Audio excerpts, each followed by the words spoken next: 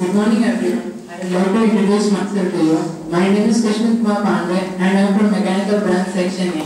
Today I have come in front of you to present to give a PPT on inspiration. I am going to inspire you so that you can come here and give your PPT well. Determination means everything. Determination brings everything. This is a story. This is a story of 1938 of a man named Carlos Takas. He, he was the best he was the best right hand pistol shooter of his country, of Hungary. And everyone was pretty sure that he is gonna bring and he was pretty sure that he is gonna bring a gold medal for his country in Olympics 1940. He had won all the national championship of his country.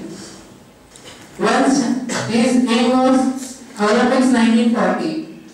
But a disaster took place in 1938. He was attending a army camp as he was in army and a hand grenade blasted off his hand in his hand. So he lost his right hand. So everyone everyone was thinking that he had lost all his dreams, his dreams broke into pieces. But it took one month for him to come back and he started practicing with his right hand. And didn't lose hope. He was like, he started practicing with his right hand and he attended 1939 national championship. Over there everyone said like, you have been a good inspiration for us and you have come here to motivate us. We thank you a lot. But this guy said, no my dear friend, I didn't came here to motivate you. I came here to compete with you. And guess who won? The man with only hand. Everyone was shooting with their best hand, but this guy was shooting with his only hand, and he won. And now he was thinking for 1940 Olympics, but 1940 Olympics got cancelled because of World War World War Two. And now his aim was 1944 Olympics, but it got cancelled because of World War Two. Now he was aiming for 1948 Olympics, but the main point is he was 38 years then, and like a man of 30 years, competing with someone like 21 years is quite difficult. But guess who won? The man with only hand. This guy is so great that he didn't stop over there. He went for 1952 Olympics and he won that too. And he got gold medal and he set a record to win in two consecutive Olympics and to bring two consecutive gold medals to his country. You know why he won? He won only because he didn't make any excuses. We make a lot of excuses like if you ask someone why don't you speak English, they say people will laugh at me. But it's not the actual thing. They just make excuse so that they get better out of making efforts to speak English.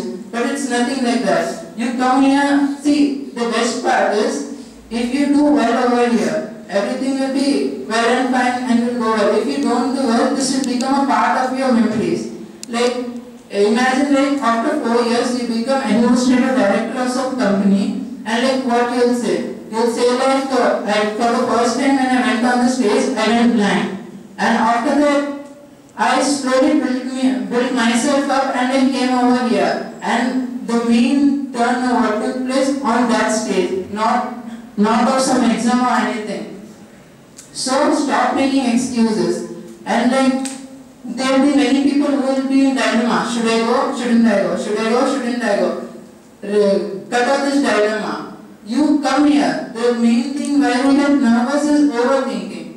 And if you stop doing overthinking and just you keep on one thing that I have to go, and automatically when you come here, you will definitely say something or the other, and slowly this will get built up.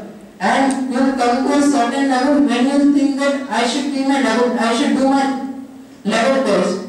And remember a thing that you should never make excuses.